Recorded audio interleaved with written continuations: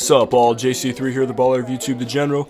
Welcome to Topic Tackle. My take for today is on the NBA rule that refs simply don't call, lane violations on free throws, and how James Harden is one of the biggest culprits of this nearly every free throw he shoots. According to Rule 10, Section 1, Part D of the NBA rulebook, the free throw shooter may not cross the plane of the free throw line until the ball touches the basket ring, backboard, or the free throw ends. For this video, I examined all 39 attempted free throws by Harden over the first four games against the Warriors. This is a small sample size compared to his league-leading 858 regular season attempts, but after he shot 88% on those regular season attempts, he didn't make any major changes to his routine. Out of Harden's 39 free throw attempts over the first four games of this series, he's committed a lane violation on 29 of them, or 74.35%. Now you may say, that's not nearly every free throw, but the ones in which he did not commit a lane violation on were really close about a millisecond or two away from being a violation when looking at his foot and the flight of the ball. I'm also taking crossing the plane to mean that Harden's foot is planted in front of the free throw line. If that's not the case and he simply has to cross the free throw line before the ball makes contact with some part of the basket,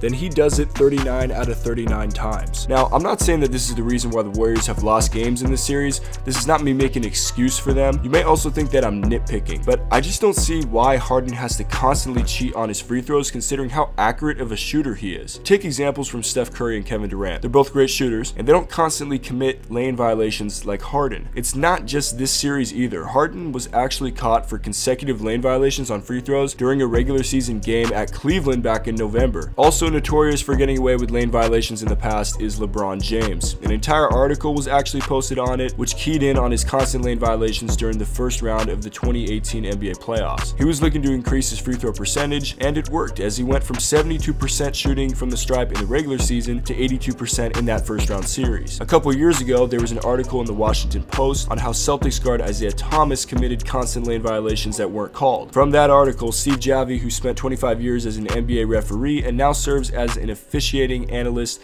for ESPN, told the Post, it's one of those rules where as an official you're thinking, what advantage did the guy really gain from it? He shoots it from behind the line and his foot steps into the lane. Well, to me, he didn't gain an advantage. And Javie also referred to Shaq in that article saying he would shoot it, get off balance, and just like Isaiah Thomas is doing, his foot would go over the line and the ball would go in. Javie concluded that he didn't see the step over the line giving Isaiah or Shaq an extra advantage, but I beg to differ. It is part of the natural shooting motion to elevate and land in a place a bit more in front of where you started. Free throws take this away. You see, when I was younger, I was playing AAU basketball and I didn't have enough strength to shoot a free throw without jumping. Most of the time I would jump and land a little over the line to help my shot go in and the refs wouldn't have it. I'm serious. I got called for lane violations every time and it was one of the most frustrating things. But I'm just wondering, if the refs are going to call this at the AAU level, why aren't they calling it in the NBA? Again, this is just something that I noticed and I wanted to bring to y'all's attention. I'm not claiming it's the reason why Harden has made near 90% of his free throws in this series, but I do firmly believe that this gives him a slight advantage and he is breaking the rules at the end of the day. So let me know what you think in the comments down below. Should Harden be penalized for breaking the rules or is this just something that the refs are never to call? Remember to subscribe, like, and leave your feedback, comments down below. We'll be back with more Topic Tackle coming soon, JC3. Out!